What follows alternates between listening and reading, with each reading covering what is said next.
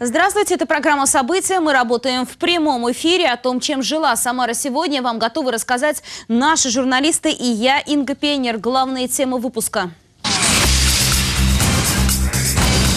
Трагедия, от которой до сих пор больно, в Самаре вспоминают полицейских, погибших в пожаре. Утро началось не с кофе, а с запаха газа. Кто виноват? И вновь нужен нам берег турецкий. В Самаре сегодня спорят о перспективных туристических направлениях. В чем силен слабый пол? В Самаре выбрали женщину года. Я не чтец, я на дуде игрец. Юлия Рудберг с поэтическим вечером и откровенным интервью. Сегодня в Самаре вспоминают страшную трагедию. 10 февраля, 18 лет назад, сильнейший пожар уничтожил здание областного управления внутренних дел. На рабочих местах в тот момент находились почти все сотрудники. В итоге 57 погибших и более 300 пострадавших. Хронику событий того рокового дня восстановит Валерия Макарова.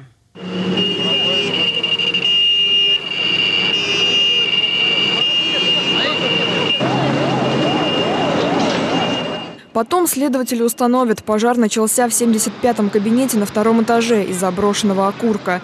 Небольшое сначала возгорание пытались потушить своими силами, но безуспешно. Вспыхнули деревянные перекрытия, и вскоре горел уже весь дом. Люди на верхних этажах оказались отрезаны от выходов, а их в огромном здании было всего два. Анна Красова уцелела чудом. Незадолго до трагедии отпросилась встретить дочку из школы и обратно уже не зашла. Здание окружили пожарные, спасатели и медики скорые уже машины, и я наших девочек искала, и вот так вот заглядывали, господи, что ж привезли я говорю, мешки, что ли, какие-то с картошкой, уголь, что ли, тут был, а это были первые трупы. Единственное, что можно было по сапогам определить, что это были женщины. И не могли в это поверить никто. Все еще надеялись, может, кто-то где-то найдется. Может, кто-то попал в какую-то другую больницу. Может, просто неизвестно. Помните, Наши были надежды какие-то. Те, кто мог, спасался через окна, но на многих были решетки. Пожарные лестницы не доставали до верхних этажей. Чтобы покинуть здание, некоторые скручивали канаты из штор или просто выпрыгивали из окон. У нас спецназ Уиновский без команды побил сбор, и все прибыли в спецназ. А понимаете, спецназ ложился живым на, на землю ложился, и люди прыгали на него. Бывало, что к некоторым они жизнь спасти. Трое суток почти без сна провел на том пожаре Виктор Владиленович Шейн, сначала спасая людей из горящего здания, а потом разбирая обломки. Начальник противопожарной службы сам вывел 15 человек. Там же получил два перелома, черепно-мозговую травму, а после представлен в государственной награде за спасение людей, как и многие его коллеги. Так люди все рвались, потому что трагедия наших, ну, наших товарищей, наших друзей, всех это было, конечно, тяжело. После пожара крыши все перекрытия рухнули, здание решено было снести, и на его месте появился мемориальный комплекс часовней. Каждый год здесь собираются родные, близкие и друзья погибших, к вечному огню возлагают цветы и вспоминают коллег.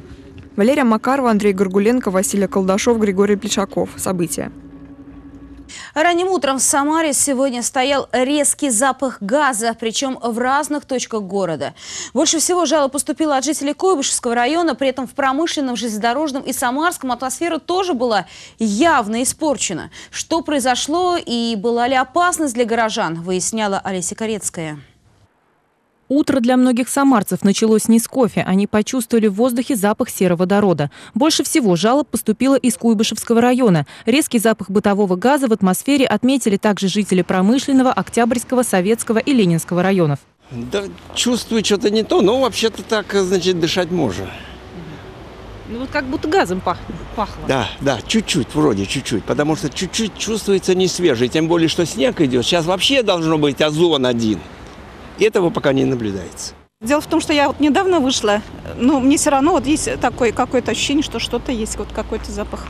В Приволжском центре мониторинга загрязнений окружающей среды воздух проверяют каждый день. Берут пробы вечером, ночью и утром. По результатам анализа выявлено только один случай превышения нормативов э, ПДК по сероводороду в Куйбышевском районе сегодня в 7 утра. Концентрация составила около двух ПДК. Все остальные ингредиенты, присутствующие в атмосферном воздухе, содержались в пределах нормы. В общем-то, это повышенное состояние относительно общего распространенного уровня загрязнения, но не критическое. На Куйбышевском нефтеперерабатывающем заводе отрицают, что неприятный запах связан с их предприятием. Уверяют, сверхнормативных, аварийных и залповых выбросов вредных веществ КНПЗ не производила. Цитата. «Фактов превышения предельно допустимых концентраций не выявлено». Меж тем, эксперты говорят, небольшое превышение сероводорода в воздухе человеку и экологии серьезного вреда не причинит, но может быть опасно для людей с хроническими заболеваниями легких и сосудов, аллергиков, астматиков и гипертоников. Специалисты советуют по возможности не выходить на улицу, закрыть окна и ждать, пока воздух не очистится от скоплений опасных веществ. Что и произошло после полудня. Резкий запах над городом почти выветрился. Этому поспособствовал атмосферный фронт, который надвигается на Самару. Олеся Корецкая, Дмитрий Мешканцов. События. Благоустройство Самары стало главной темой встречи губернатора Николая Меркушкина с неравнодушными горожанами, учителями, врачами и руководителями учреждений культуры. Впервые встреча проходила в таком расширенном формате. Среди поднятых тем были и подготовка к чемпионату мира по футболу, и реформа местного самоуправления. Марина Кравцова продолжит. Родной город – это и есть дом, и каждый житель может сделать его еще лучше. В последние годы Самара меняется кардинально. Строит новые школы и детские сады, спортивные комплексы, ремонтирует дороги и фасады домов. Город готовится принять чемпионат мира по футболу. Много работы предстоит в этом году. Но все это не ради одного события – преобразования, вклад в будущее жителей региона. И это вопрос к чемпионату мира. И, в принципе, не только к чемпионату мира. Это просто надо нам самим – это будет потом работать, я уверен, будет работать навсегда. Благоустройство Самары не ограничивается основными улицами и гостевыми маршрутами, подчеркнул губернатор Николай Меркушкин на встрече с учителями, врачами и творческим сообществом. Совершенно иной вид должны иметь и отдаленные уголки города, простые дворы и подъезды. И поучаствовать в этом может каждый неравнодушный горожанин, а проводниками между людьми и властью станут активисты в каждом микрорайоне. Подъезды, дворы, там, еще какие-то вещи, связанные там в каждом конкретном случае, чтобы эти люди могли, мобилизовать других, объяснить другим, объяснить другим и поднять на решение вот тех задач, которые зависят от самих людей. Мы, в свою очередь, будем, насколько можем, помогать финансами. Первым этапом такой совместной работы станет весенняя уборка города. Жители Самары могут помочь создать комфортную, красивую среду вокруг собственных домов. В первую очередь для самих себя, своих детей и внуков. Кроме того, есть инициатива, что те дворы, где люди наиболее активны, власти будут и дополнительно благоустраивать. Сложность в том, что все преобразования приходится проводить в непростых экономических условиях. Региональное правительство сильно сократило собственные расходы, а в сфере социальной помощи в первую очередь поддержку оказывают тем жителям региона, кому она действительно необходима. Выплаты теперь осуществляют по главным принципам адресности и нуждаемости. Марина Кравцова, Василий Колдашов. События. Турция вновь станет ближе. В конце апреля в эту страну начнут летать прямые рейсы из Курумыча. Сначала чартерные, потом регулярные. Перспективы развития международных и внутренних направлений обсудили на региональном туристическом форуме. На него съехали специалисты со всей страны. Особое внимание уделили вопросам внутреннего туризма. О том, куда отправиться из Самары и когда ждать гостей в репортаже Алины Чемерис. Аэропорты Анталья и Даламан уже в конце весны будут готовы встретить самарских туристов, вылетевших прямым рейсом из Курумыча. Туроператоры снова начали формировать пакетные туры в Турцию. В 2015 году на это был наложен запрет, и россияне, в том числе самарцы, перестали летать на ранее самые популярные курорты. В регионе турпоток за рубеж снизился почти на 70%. Теперь турецкое направление вновь может стать самым востребованным. В Турции обычно Россия второе место. Первое место из Немеция. Но в этом году, я думаю, может быть, россияне будут первое место для туристического сектора Турции.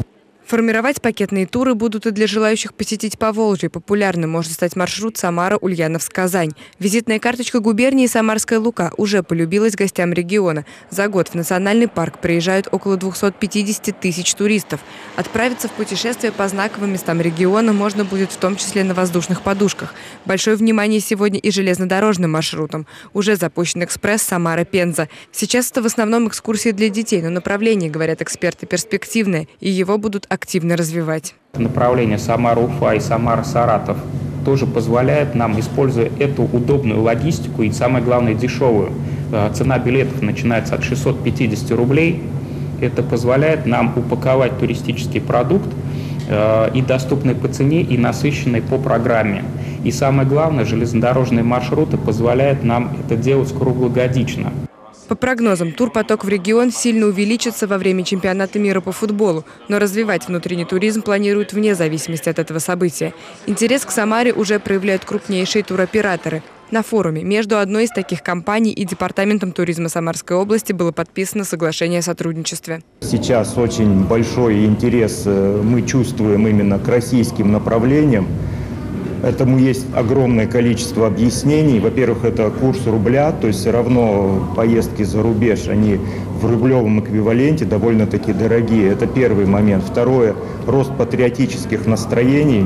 Будем а, пытаться создать такой продукт, который будет продаваемый, в том числе продукт Самары, и мы надеемся, что он тоже будет востребован. На региональном туристическом форуме собрались свыше двух с половиной тысяч представителей туриндустрии, в том числе из Ижевска, Ульяновска, Чебоксар. Путешественники уже начинают бронировать путевки на лето, и сейчас важно сориентировать их по направлениям. Форум продлится до 11 февраля. Алина Чемерес, Артем Сулайманов. События. Отправляясь в путешествие по России, переплачивать за сотовую связь не придется. В стране предлагают отменить федеральный роуминг. Когда, знает наш экономический обозреватель Лариса Шалафаст. you Здравствуйте! В конце недели нефть дорожает и опять превысила отметку в 56 долларов за баррель. Валюта продолжает дешеветь. На выходные Центробанк установил курс доллара на отметке 58 рублей 84 копейки. Евро 62 рубля 68 копеек. Золото стоит 2356 рублей, серебро 33 рубля 66 копеек за грамм. В самарских банках сегодня дешевле всего доллар можно было купить за 59 рублей 40 копеек, дороже всего продать за 58 рублей 88 копеек. Федеральная антимонопольная служба предложила отменить роуминг внутри страны. То есть, если вы, например, из Самары едете в Москву, то переплачивать за сотовую связь в чужом регионе не придется, потому что в России все регионы родные, считают ФАС. Планируется, что отмена произойдет уже осенью этого года. Объем просроченной задолженности россиян по кредитам вырос за год на 13% и превысил 1 триллион рублей, сообщает Объединенное кредитное бюро. А вот убытки «АвтоВАЗа» сократились на 40% и составили почти 45 миллиардов рублей. На этом все. Удачи в делах!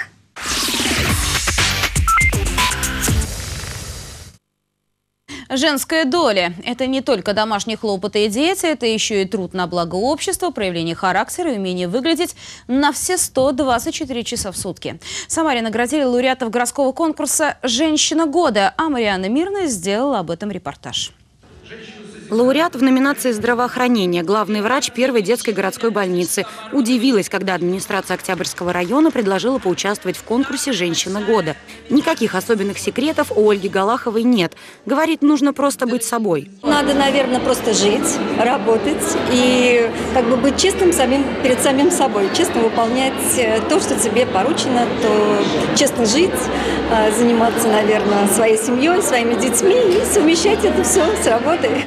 Конкурс «Женщина года» проходит в Самаре уже четвертый раз. Номинаций всегда много, как много и достойных кандидатур. Женщин, которые умеют быть умными, красивыми и талантливыми 24 часа в сутки. Они очень скромные и никогда, так скажем, не выпечиваются.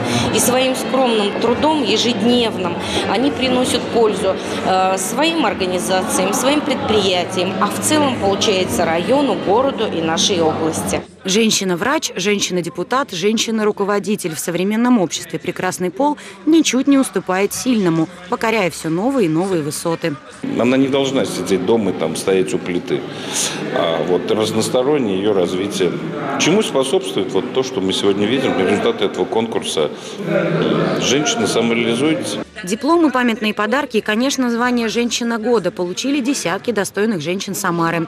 Конкурс продолжается, и возможность стать лауреатом есть у многих. Он проводится по направлениям здравоохранения, образования, культура, общественная деятельность и многим другим. Мариана Мирная, Станислав Левин. События. Далее коротко о других событиях дня.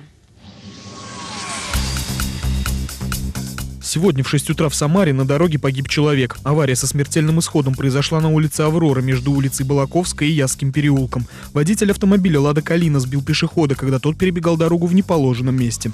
По словам очевидцев, водитель не смог экстренно затормозить. Даже после наезда на человека он проехал более 30 метров. Удар был такой силы, что на левом крыле машины остались вмятины. Пешеход погиб на месте до прибытия скорой. В настоящий момент сотрудники ГИБДД выясняют обстоятельства аварии. Ночью в Куйбышевском районе Самары в горящем автомобиле едва не погиб человек. Загорелся автомобиль на улице Бакинская, где обычно паркуются таксисты. Прохожие заметили, что в машине, которая начала дымиться, спит мужчина. Его успели разбудить и вытащить из автомобиля, после чего произошел взрыв. На место возгорания прибыли пожарные и скорая помощь. По предварительным данным, в машине произошло два взрыва. Сначала газового баллона, а потом бензобака. В Самаре 14 февраля проведут дополнительное распределение свободных мест в детсадах. Родителям рекомендую до этого времени проверить данные, указанные в заявлении в автоматизированной информационной системе. Для этого можно пройти по ссылке на экране. В случае обнаружения в заявлении неточностей и устаревших сведений нужно обратиться в МФЦ для внесения изменений. Информация об имеющихся свободных местах в детсадах будет размещена на сайте Департамента образования администрации городского округа Самара в разделе «Новости». Выездная налоговая приемная будет работать в Самаре в субботу 11 февраля в микрорайоне Ботанический. Получить консультацию можно будет с 11 до 14 часов. Напомним, с января текущего года два раза в месяц по субботам в городе работают мобильные офисы. С их помощью можно решить любой вопрос – от оплаты налогов и задолженности по ним в режиме онлайн до подачи налоговой декларации для получения вычета. В Самаре работает антинаркотическая горячая линия. Если вы знаете, где изготавливают наркотики или торгуют ими, сообщите по телефону горячей линии, который вы видите на экране. Также сообщить информацию можно по телефону доверия ГУМВД России по Самарской области. Откровенно о себе и своей жизни в стихах актриса театра и кино Юлия Рудберг дала филармонии концерт «Послушайте». Народная артистка России выступила с программой стихов Пушкина, Ахматовой, Бродского и других русских поэтов. На творческом вечере вдохновлялась и Марина Матвейшина.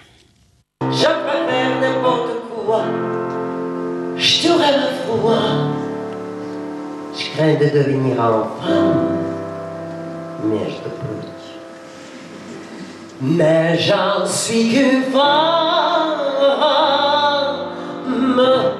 Черный рояль на сцене, черный смокинг на актрисе, французские романсы и русская поэзия. Ничего лишнего и отвлекающего. Все вместе создает потрясающую энергетику в зале, которую ощущаешь кожей. Каждое стихотворение – как маленький спектакль. Кто вы такие? Мы листья, листья, листья, листья. Они в ответ зашелестели. Мечтали мы о пейзажисте, но руки, что держали кисть, нас полюбить не захотели. Мы улетели. Концерт «Послушайте» проходит в филармонии. Актриса театра и кино Юлия Рудберг читает любимые стихи, обнажая перед зрителем душу. Стихи – это вообще интимные, потому что это мысли человека. Вряд ли меня можно назвать чтецом. Я все-таки на дуде игрец больше. Я не формальный, как сказать, не в формате, вернее так, а просто чтение стихов.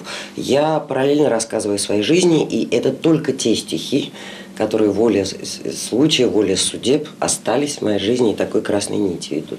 Поэтическое настроение захватывает настолько, что уже в антракте вдохновленная публика читает свои любимые стихи. Все начинается с любви. И, озар... и озарение, и работа, глаза цветов, глаза ребенка. Все начинается с любви. Все начинается с любви. Я это точно знаю. И даже ненависть. Родная и вечная сестра любви. С поэтической программой актриса Юлия Рудберг приезжает в Самару не в первый раз и обещает, не в последний. Марина Матвеевна, Станислав Левин. События. Все начинается с «Зенита». Известный самарский фотограф Валерий Афанасьев сегодня презентовал выставку «Начало». Десять лет творчества он объединил в 30 черно-белых снимках на пленочный фотоаппарат. Многие из них уже пожелтели от времени, но в этом, считает автор, главная особенность. Старые фотографии прекрасны в своем несовершенстве. Духом 80-х прониклась и Валерия Макарова. С этого кадра началось мое увлечение фотографией. Съездив в Германию и Словакию по туристической путевке, захватил с собой профиль «Зенит», сфотографировал там две-три пленочки, приехал, проявил, отпечатал, мне понравилось. Фотография и музыка всегда боролись друг с другом в жизни Валерия Афанасьева. Победило все же фотоискусство. Ему Афанасьев посвятил 35 лет. И сегодня фотограф вспоминает, как все начиналось. На выставке собраны оригинальные снимки с 82 по 92. Никакой ретуши или оцифровки. Дух того времени на пожелтевшей от возраста фотобумаги. Прекрасная черно-белая фотография, тем более. В ней есть дух времени, есть философия какая-то объекта. Если портрет, то человек какая-то философия передается. То есть цвета не отвлекает от глубины содержания. Другой была аппаратура, и, конечно, фотография тоже была другой. Сегодня, чтобы сделать вот такой снимок, уйдет не меньше сотни кадров. Пленка такой роскоши не позволит, поэтому дублей было около 20. Вспышки были обычные, советские, ФИЛ-106, то есть э, все очень просто было. Мы модель поливали, у меня ассистент был, поливал из ведра. И самая сложность была, чтобы модель сохраняла спокойствие. Когда на тебя льют ведро воды, спокойно быть достаточно сложно. На фотовыставке «Начало» собраны фотографии из нескольких циклов, наиболее важных для автора. Так серия «Поцелуй с тенью» получила медаль на конкурсе в Италии в 1995 году. Увидеть снимки вживую и поностальгировать об ушедшей эпохе можно до конца февраля в Доме журналиста. Валерия Макарова, Григорий Плешаков. События. Самара готовится к грандиозному спортивному празднику «Лыжня России». Массовая гонка проводится уже в 35-й раз. Сергей Кизоркин узнал, как идет подготовка дистанции. Новости спорта продолжит эфир. Здравствуйте, я Сергей Кизоркин, и значит вы смотрите «Самарские новости спорта». Александр Коротков к лыжным гонкам готов всегда. В багажнике автомобиля лежат лыжи, форма и любимый номер. За плечами кандидата в мастера спорта сотни стартов, в том числе на чемпионате мира среди ветеранов. И десятки побед. Вот и к лыжне России Коротков начал готовиться за неделю, каждый день пробегая дистанцию 10 километров в спортивном центре «Чайка», где и пройдет всероссийский спортивный праздник. Здесь очень классная трасса. Здесь подготовка очень хорошая. Здесь даже вот бежали и Лазутина, Данилов, Вяльбе, прокуроров. Честь пробежаться за Россию на лыжне России.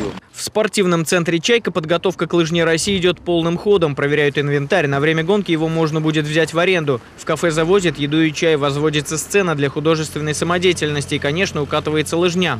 На дистанциях 5 и 10 километров несколько раз в сутки работает специальная техника – австрийский ретрак. В последний раз лыжню утрамбуют за пару часов до старта. Что лыжня была не мягкая, а жесткая.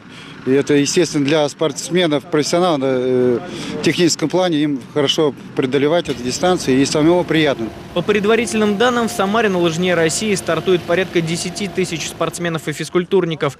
Выйдут и послы от Самарской области. Пройдет несколько гонок, 2018 метров в честь чемпионата мира по футболу. А медали разыграют в разных возрастных категориях на дистанциях 5 и 10 километров. То это не просто массовый лыжный забег, а это большой спортивный физкультурный праздник, где мы ждем жителей Самарской губернии, будут организованы детские площадки, будет работать скалодром, будет работать каток, будет работать веревочный городок, будет масса замечательных и интересных развлечений. В перерывах между лыжными гонками участников соревнований и болельщиков будут развлекать артисты, а согреться чаем и набраться сил можно в местном кафе. Начнется юбилейный 35-й спортивный праздник «Лыжня России» в субботний полдень 11 февраля на лыжной базе «Чайка» в поселке Управленческий. Это были новости спорта от Сергея Кизоркина. Будьте здоровы и занимайтесь физкультурой.